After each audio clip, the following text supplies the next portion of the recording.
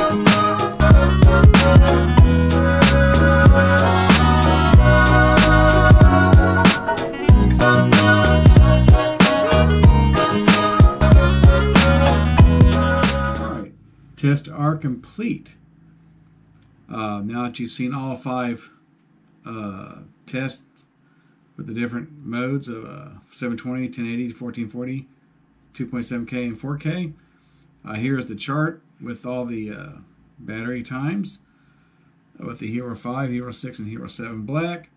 The yellow highlighted is the best times. Uh, so as you can see, the Hero 6 Black basically shined in all six, I mean all five uh, filming modes. It's kind of shocking. You would either think the Hero 5 Black would be best battery life or the Hero 7 Black would be best battery life.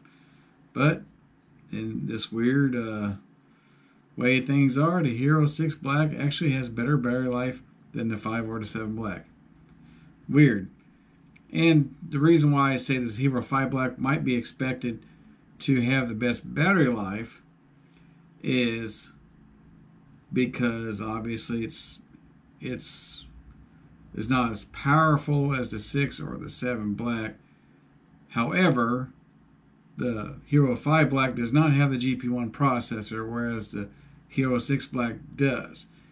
And it could be that the GP1 processor is a little more battery efficient than the processor that was in the Hero 5 Black, which would explain why the Hero 6 Black is better with battery life than the Hero 5 Black.